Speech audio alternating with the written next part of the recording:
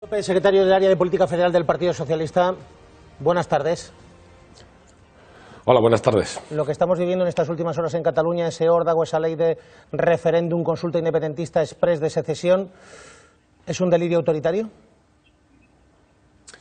Es un despropósito democrático. Yo creo que, que, lo que estamos conociendo a través de estos anuncios, a través de esta escenificación, demuestra que los independentistas, más que romper con España, lo que rompen es con la democracia. Si pusiéramos en fila todos los anuncios que nos han hecho y algunos de sus actos, sería francamente preocupante. Primero, la legalidad no importa. Si no me conviene, yo me la salto. Segundo, voy a hacer un referéndum sí o sí, de cualquier manera, sin ninguna garantía, para que voten los míos y me da igual cuántos sean. Tercero, al que discrepa de lo que yo digo, al que no me da la razón, lo convierto en disidente y lo expulso. Cuarto, los funcionarios están a mi servicio y si no, les amenazo. Y luego, por cierto, yo voy a hacer una ley que, como es mía, la voy a considerar ley suprema que está por encima de todo lo demás. Esto, como digo, tiene una concepción democrática francamente preocupante. Eh, y por lo tanto, yo creo que hay que hacer dos cosas básicas y el Partido Socialista lo que va a defender. Primero, defender la democracia, que solo existe desde el respeto a la ley. Y por eso vamos a defender la, la legalidad. Y segundo, es defender la política. Y la política es capaz en democracia de buscar espacios para el diálogo, para la búsqueda de entendimientos entre los que pensamos eh, diferente, no para romper, sino para ver cómo continuamos juntos. Y esto es lo que va a proponer, y, y, lleva proponiendo años el Partido Socialista. Pero vamos a ver, ustedes, señor López, lo que están proponiendo es, acabamos de escuchar también a Felipe González, ayer tengo la sensación de que de las palabras de Pedro Sánchez llegué a la misma conclusión, es decir, hace falta una reforma constitucional, una nueva reforma constitucional.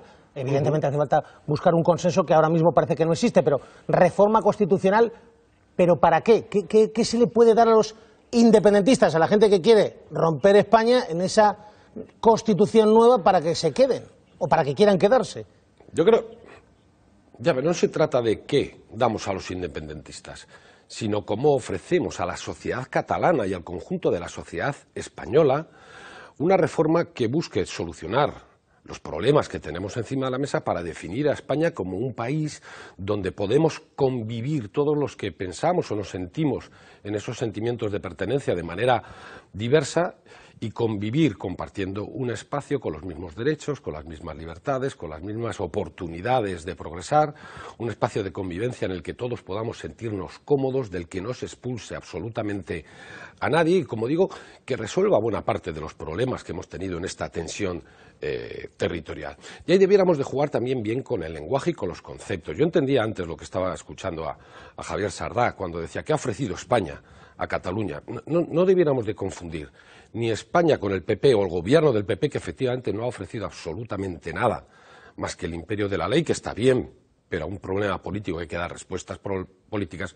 Lo mismo que yo no confundo a Cataluña con los independentistas catalanes.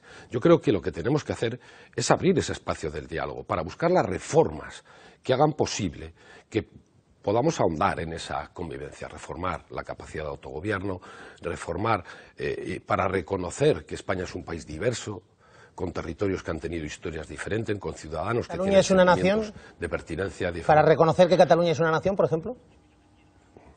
Bueno, por ejemplo, en el sentido cultural de, de, de la nación, el reconocimiento de que hay una ciudadanía que se siente identificada con una tradición, con una lengua, con una cultura, con unos valores, eso lo reconoce el propio Consejo de, de Europa, ¿no? Eh, es decir, ocurre, se, señor López, cosas, señor López, que además yo sé que usted sí. es un especialista en materia, lo que ocurre es que yo no veo ahora mismo a la CUP, a Junqueras, a Esquerra Republicana de Cataluña y a un sector del PDeCAT, digo a un sector, liderado por Puigdemont, diciendo, vale, pues lo dejamos todo porque culturalmente nos van a reconocer como nación. Ya, pero, pero vamos a ver, eh, eh, se suele decir, ¿qué viene tarde? Para mí en política nunca es tarde si se lo, lo, que se evita eh, es una huida hacia un precipicio del que lo único que vamos a conseguir es más frustración, más crispación, más enfrentamiento, más confrontación social, ¿no? Eh, y por lo tanto la política tiene que estar encima de la mesa. Es verdad, y yo reconozco que efectivamente hemos tenido un gobierno en España que no ha hecho absolutamente nada para convencer a la sociedad catalana de que seguramente el peor negocio de la historia en todos los eh, términos de, eh, político, social, económico, cultural, es la ruptura y lo mejor es que sigamos juntos eh, haciendo las reformas que sean necesarias para seguir caminando juntos. Yo no renuncio a que la política busque respuestas y soluciones. El Partido Socialista está dispuesto a sentarse y va a decir mañana, no, esta misma tarde para frenar este despropósito y para buscar respuestas. El problema es verdad que hay algunos que no tienen esa voluntad. Aquí todo el mundo, o, por lo menos otras formaciones políticas, hablan permanentemente de diálogo, pero niegan el diálogo. El diálogo no es decir, el resultado del diálogo tiene que ser referéndum sí o sí. Eso es una imposición, eso no es dialogar. Hablan de buscar entendimientos, pero solo para imponer mi posición. Esto no es ni la política ni lo que necesita en este momento este país. Eh, Xavier Sarda se agita. Le ha bueno, no me agito, no me agito. Pero quiero no, decir... no has parado. No, bueno, bueno, es mi temperamento. Pero Pachi, tienes que coger el puente aéreo. Porque lo que dices es muy bonito, pero coge el puente aéreo, por favor, vete a Barcelona y, y, y Él está en Bilbao, ¿eh? ¿eh? Bueno, pues entonces... Eh, bueno, aquello es un superpuente. Hay, hay vuelos directos, sí. sí. Y empezar la negociación esta que decís que queda tan bien enunciada. Pero es que quedan Tres meses apenas. Tres meses apenas. Yo, vamos a ver, yo siempre veo a los independentistas y después al señor Albiol. Es un, mecanicismo total. ¿Dónde está Iseta? me pregunto dónde... Aquí está hoy Pachi López. Sí, muy bien, pero no, en Cataluña digo... ha sido me, falta que Iseta diga alguna cosa también en relación con lo que pasa. Quiero decir que queda muy bien decir que, hay, que la política eh, nunca es tarde, pero por favor, si no espabiláis, no hay nada que no, Hombre, yo, yo, yo, no, yo, no, vamos a ver, yo, yo le oigo a mi compañero Miquel Iceta prácticamente todos los días hablando medios de, una de comunicación de reforma no de la Constitución. últimamente. Sí, ayer mismo le oí una entrevista radiofónica hablando efectivamente de que eh, hay que defender la ley, pero hay que utilizar la política y hablando de esa propuesta de reforma constitucional en un sentido federal, que es eh, eh, la posibilidad que tenemos de encauzar el problema que tenemos encima de la mesa. Una reforma federal de la Constitución, en el fondo, lo primero que hace es reconocer a España tal y como es. Y España es un país diverso, con singularidades, como decía antes, con territorios que tienen, eh, han tenido una historia distinta, diversa, con territorios que tienen dos lenguas, con territorios que tienen singularidades. Reconozcámoslo y reconozcámoslo como algo que nos enriquece, no como algo que se utiliza para chocarse unos contra otros para ver cómo busco votos en otra parte. Hagamos una reforma federal que eh, resuelva el problema de la invasión competencial permanente que vivimos en este país y que acabamos todo el día en el Tribunal ¿Dónde habéis estado la izquierda? Perdona, Pachi. ¿Dónde habéis estado la izquierda durante todos estos últimos años en los cuales en Cataluña em, sucede lo que viene sucediendo? Es decir, ha eh, habido solo una invitación, una invitación en la dirección a marcharse no ha habido, de verdad, lo digo, no ha habido una invitación mm, clara, un proyecto de país. Cataluña se está inventando un país y un argumento. Yo tengo la teoría de que España falta inventar un país, inventar un argumento. Eso es lo que yo, como ciudadano que, vivo entre dos aguas, eh, exijo casi. Mira, Javier, la verdad que hemos estado... ¿Y cuántos años lleva el Partido Socialista defendiendo este modelo federal? Es verdad que diré, reconoceré, con poco éxito, porque no hemos sido capaces a veces de traspasar una barrera mediática que o estabas con unos o con los otros o no tenías espacio, cuando yo estoy convencido que la mayoría de la sociedad catalana estaría dispuesta a recorrer este camino del diálogo, de la búsqueda del entendimiento para definir este país de otra manera, sin romper para seguir juntos, que es lo que tenemos que hacer. Hemos tenido poco éxito porque también perdona, que no, hemos sido... No, no, perdona, no, perdona, no, no, estábamos, perdona, lo que pasa es que no teníamos ni el gobierno de España ni el gobierno de la Generalitat, que aquí ha parecido que eran los únicos actores. Y si no otros, mientras defendíamos esto, ¿cuántas veces hemos tenido que escuchar? Bueno, los socialistas proponen esto del modelo federal, pero no dicen lo que es. Hombre, sí decíamos lo que es. Lo que no hacíamos era cerrarlo hasta la última coma, porque si uno pretende dialogar, si uno pretende pactar, no puede ir con algo cerrado como esto de referéndum sí o sí, sino con un modelo abierto para poder discutir entre todos, para ver si somos capaces de llegar a un punto de encuentro. Y como digo, como no estábamos en los extremos, desaparecíamos de esa posición más sensata que busca tender puentes y no cavar trincheras. Desgraciadamente esto ha sido así. Habéis perdido la mitad de Cataluña. La mitad de Cataluña la habéis perdido. La hemos perdido. Sí. No responsabilicemos solo no sé si la, mitad de Cataluña. Hemos, no, sé si la mitad de Cataluña. Hemos perdido, es verdad, buena parte de nuestro respaldo eh, electoral.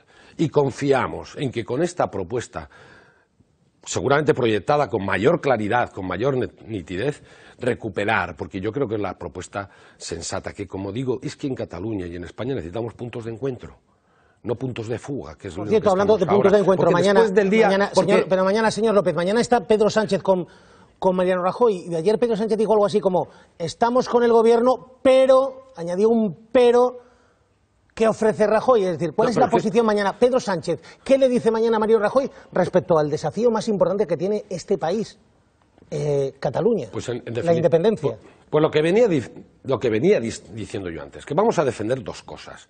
Una es la democracia, y la democracia no existe sin respeto a la ley. Por eso le vamos a decir que vamos a defender la legalidad en este país.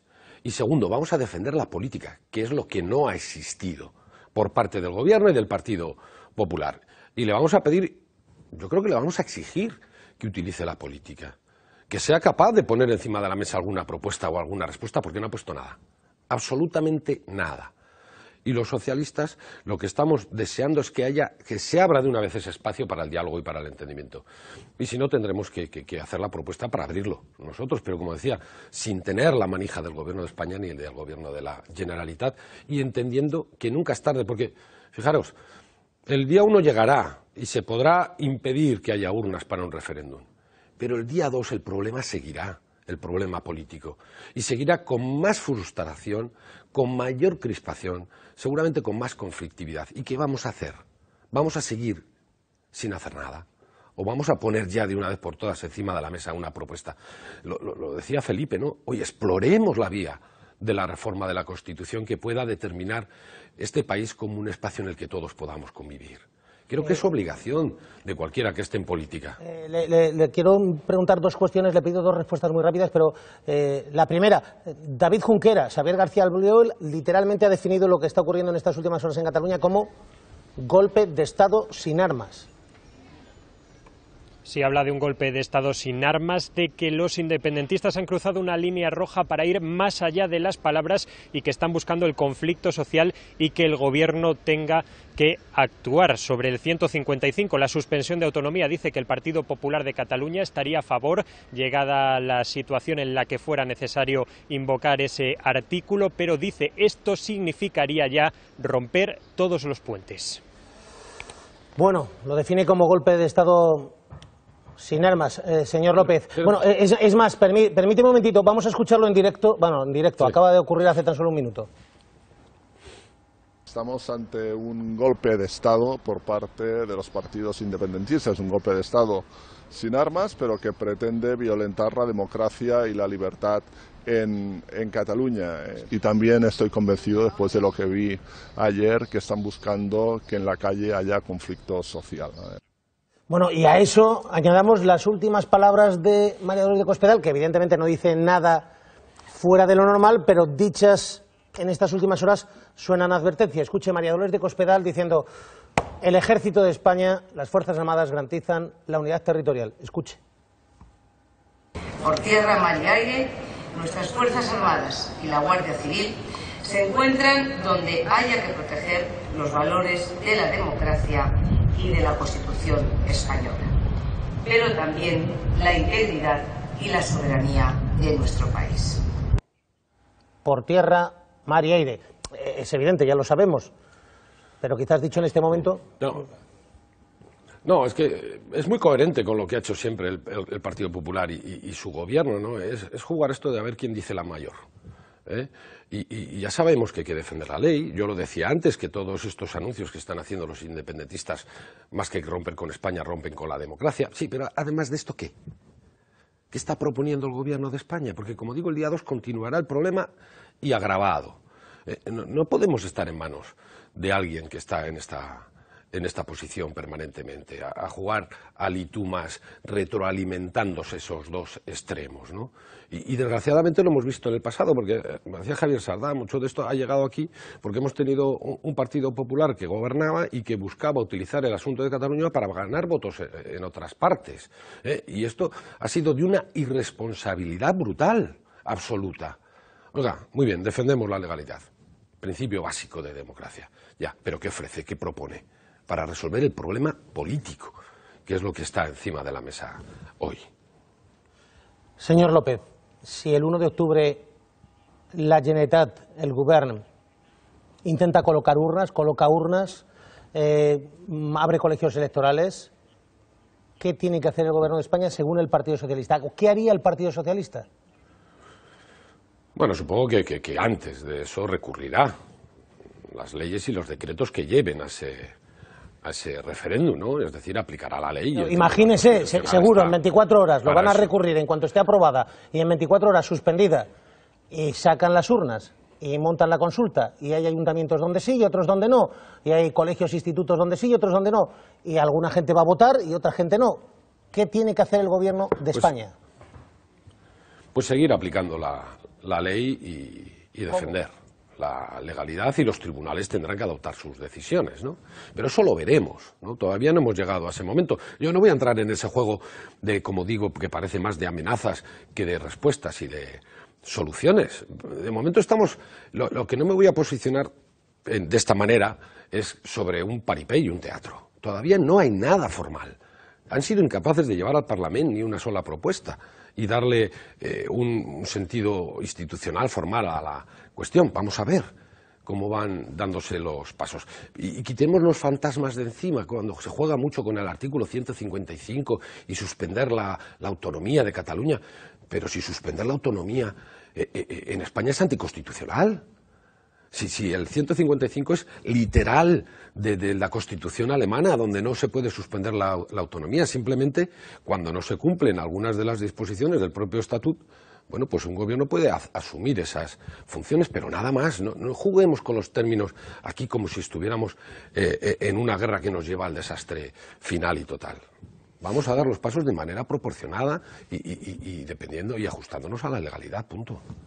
Pachi López es el secretario del área de política federal del Partido Socialista. Me dice Sardá, a ver cuándo le vemos aquí en Al Rojo Vivo para debatir sobre este asunto, porque es sin duda alguna el gran reto que tenemos, el gran problema, el gran reto, el gran desafío como país, como España. Eh, señor López, por cierto, una cosa más, es que he leído hoy, Diario El Mundo dice que Partido Socialista y Podemos están desmarcando en algunas ciudades importantes, Jerez, San Fernando, eh, Bilbao, de homenajes a Miguel Ángel Blanco. Bueno, el reconocimiento a las víctimas tiene que formar parte de, este tiempo que estamos viviendo, ¿no? Un tiempo después de haber derrotado a una banda terrorista, es importante que desde la política seamos capaces de instalar la memoria. Eh, la memoria no es un capricho de la política. La memoria es aquello que, que, se levanta como un muro para impedir que en este país vuelva a haber nadie que coja una pistola y mate al que piensa diferente y lo convertamos, o alguien lo quiera convertir en un héroe salvapatrias. Y la memoria en sí mismo lo que trae son valores, valores éticos, valores morales para construir una sociedad decente y no una sociedad amoral. Por eso el reconocimiento, el respeto, el recordar a las víctimas es algo que debe acompañar este tiempo también. Moria también es Miguel Ángel Blanco. ¿Por qué, por ejemplo, el Ayuntamiento de Bilbao no quiere hacerse un reconocimiento especial, particular, ahora Miguel Ángel Blanco? Porque además usted lo sabe muy bien ese atentado fue de alguna manera un antes y un después, especialmente en Euskadi. Es verdad, es verdad que lo, es verdad que lo fue y, en, en, Euskadi desde hace tiempo afortunadamente tenemos eh, en prácticamente todos los municipios eh, monumentos que recuerdan a las víctimas, eh, tenemos actos que reconocen a los resistentes del País Vasco que fueron en definitiva los que consiguieron acabar con la violencia de ETA y, como digo, forman parte de este itinerario después de haber vencido al, al terrorismo.